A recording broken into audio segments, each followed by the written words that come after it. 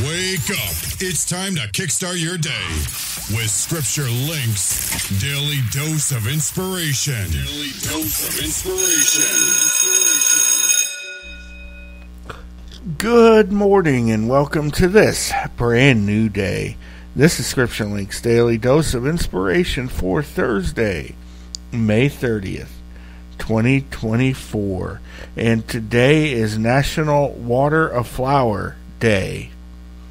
You know, I have planters on my back deck that every year I plan on on planting, putting some flowers in there, and every year I never get around to doing it. And um, one of these years I definitely will. And uh, but anyway, if you have uh, if you have planted flowers, or you go to a park and there's some wildflowers growing, give them a water today on this National Water a Flower Day. Uh, if you're reading along in the Gospels uh, this month, we're finishing up the month of May, so we only got two more readings of the Gospels left, and then we're going to switch over to the book of Psalms. Uh, but if you're reading along in the Gospels, uh, today we're reading John chapter 19 and 20. John chapter 19 and 20. And today we're going to take a look at a story um, this is after the death of Jesus now. In John chapter 19, we're going to read verses 38 through 42. Scripture says, And after this, this is after the death of, of Jesus on the cross, Joseph of Arimathea, being a disciple of Jesus, but secretly for fear of the Jews, uh, besought Pilate that he might take away the body of Jesus. And Pilate gave him leave. He came therefore and took the body of Jesus. And there came also Nicodemus, which was the first to come to Jesus, which at the first came to Jesus by night, and brought a mixture of myrrh and aloes, about a hundred pound weight. And they took the body of Jesus and wound it in, in linen cloths with the spices, as the manner of the Jews is to bury. Now, in the place where he was crucified, there was a garden, and in the garden a new sepulchre, wherein was never a man laid. There laid they Jesus, therefore, because of the Jews' preparation day, for the sepulchre was nigh at hand.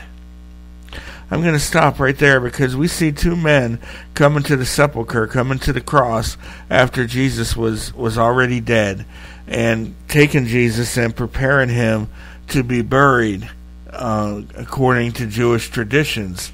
Now we all know that that when Mary and the other ladies had came on the first day of the week on Resurrection Day, they were coming to finish the preparation and give him a proper burial but the preparation that that uh, Joseph and, and Nicodemus here is giving Jesus is just kind of a quick one to get him in the ground, and um, then go to their to their um, go to their day of worship, go to their Sabbath day.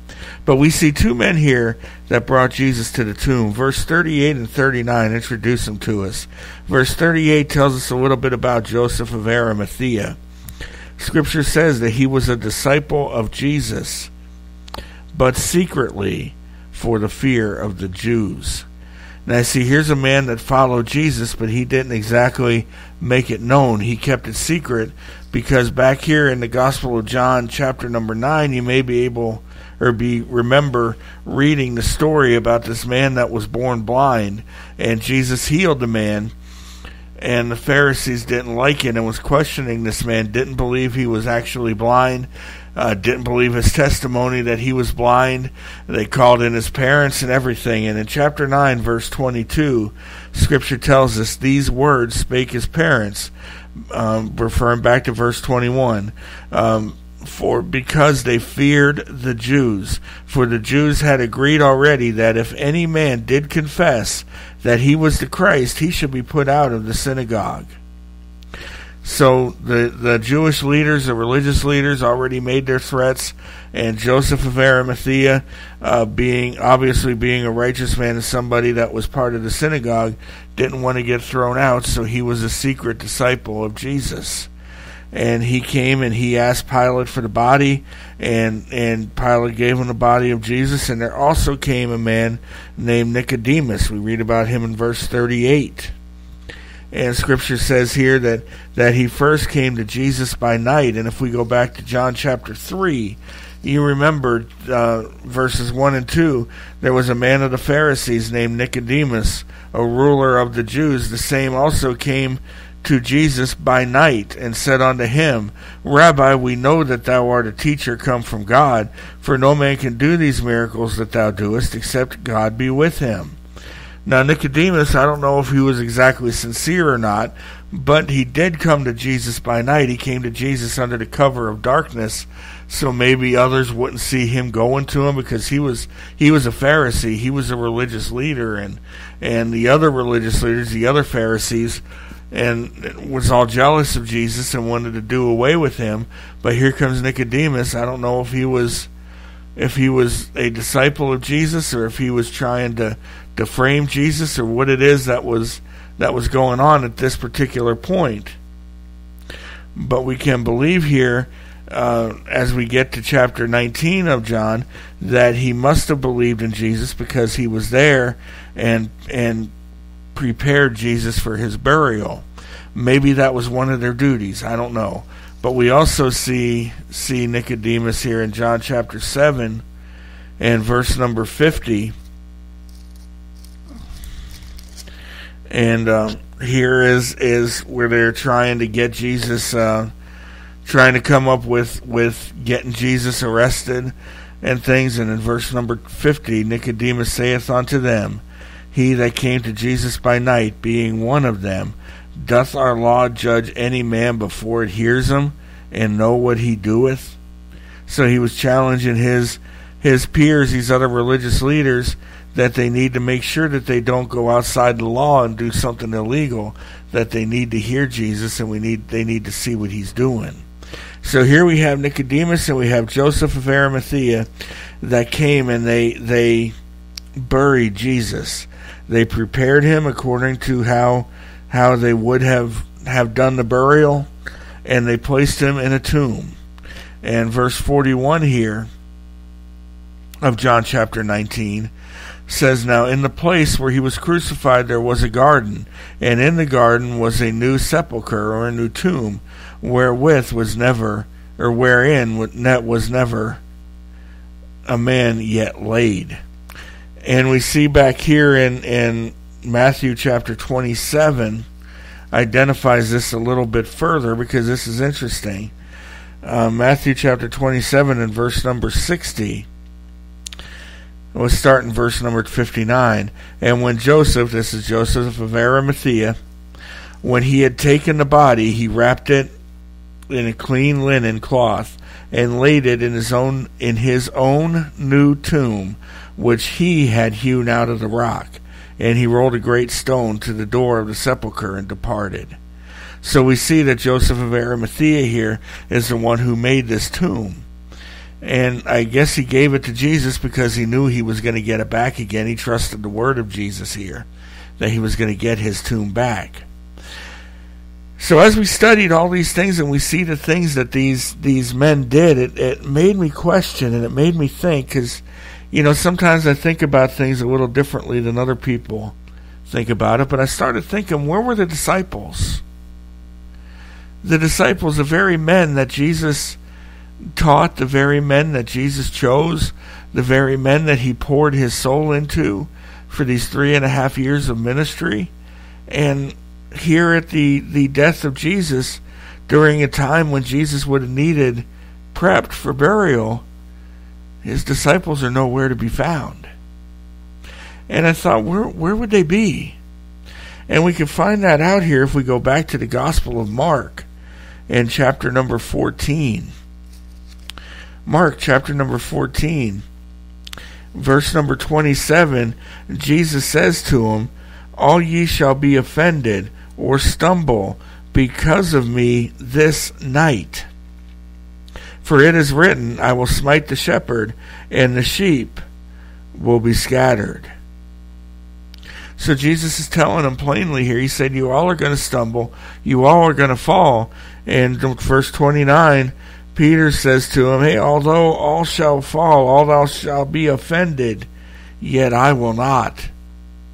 Peter was making a false promise right there. Jesus told them, told all of them that they were going to stumble, they were going to fall.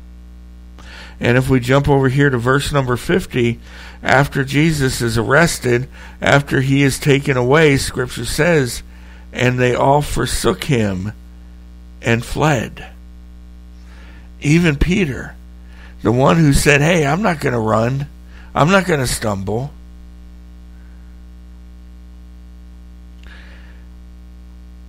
And if we actually, let's jump down to verse 31 too, because after Peter said, I'm not going to stumble, Jesus warns them that this day, even this night, before the cock crow, cock crow twice, thou shalt deny me thrice. And Peter spake all the more vehemently, If I should die with thee, I will not deny thee in any wise. Likewise also said they all. All of them pledged their allegiance to Jesus. And according to verse 50, all of them, when the going got rough, the disciples got going. And as I was thinking about that, I started thinking about myself. I thought, what if I was one of the disciples? Would I have been there like Nicodemus was, like Joseph of Arimathea was? I'd like to think I would be. Peter thought he would have been, but he wasn't. And the rest of them thought they would have been, but he wasn't. And they weren't. And how many times are we going through something in our life? and we make claims to Jesus like, "Oh, oh God, if you if you heal so and so, if you do this for me, I'll be in church every Sunday and I'll never miss and I'll read your Bible and I'll I'll do this and I'll do that." And how many of us keep doing it? We're exactly like the disciples and we get to running.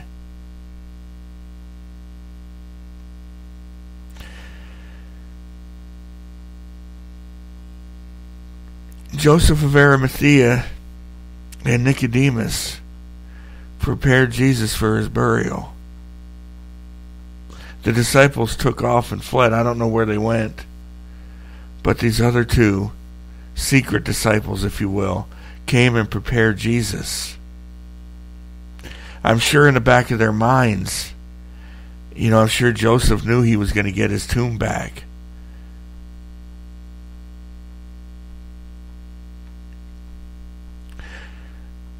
What has all this got to do with us today? The point that I'm wanting to make with this is that when when we're going through times, tough times, when we're going through trials, when we're going through days that stuff happens that we don't expect to happen, that's not the time that we need to forsake Him and run. That's the time we need to get close and we need to sit in his lap. Remember when you were a kid and you um, maybe you fell off your bike and skinned your knee, and you go crying home to mom or you go crying home to dad. What's the thing that they usually did? They'd wash it off and then they they they'd kiss it and they'd put a band-aid on it, and that made everything good. But maybe sometimes you might have crawled into your dad's lap or your mom's lap to get that comfort. When we're going through times of trial, that's what we need to be doing. It's getting close to God. That's not the time to run. That's the time to get close to God. I don't know who I'm talking to today. But if that's you today, don't forsake Jesus. Don't run away. Crawl up in his lap and let him protect you as you're going through that time of trial. I'm sure the disciples, none of them wanted to believe that those events that happened with the crucifixion of Jesus would never have happened. And I'm sure they didn't want it to happen. And none of us want the trials we're going through to happen. But that ain't the time to run. That's the time to be steadfast. And that's the time to stay with Jesus.